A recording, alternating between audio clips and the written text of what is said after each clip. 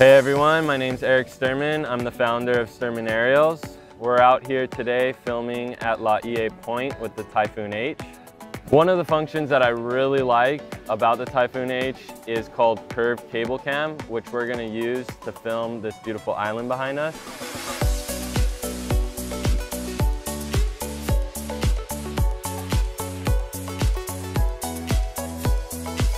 So how Curved Cable Cam works is you fly a route and as I'm going around the island, I'm gonna drop my pins and each pin is gonna be the next destination that the Typhoon H is gonna go to. And in doing so, it's gonna allow me to take control of the camera and really get the unique shot that I wanna get.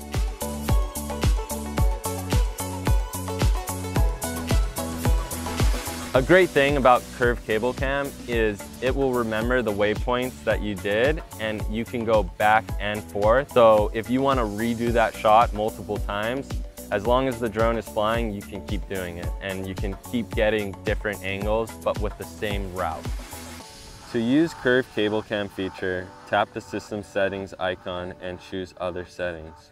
Turn on advanced mode and tap the return button. Next, tap the task camera icon to select task. Then you will see five functions displayed on the screen. Tap Curve Cable Cam to enter the Curve Cable Cam function. Fly the Typhoon H to a point and tap the plus sign to create a new point and record the current flying position.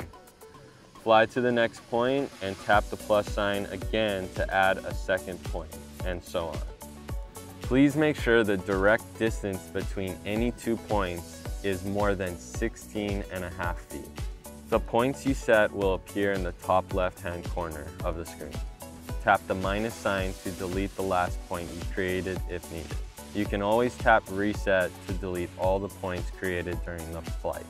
Once you set your waypoints, you can tap save to save your current flight plan. Next, tap start and slide the icon.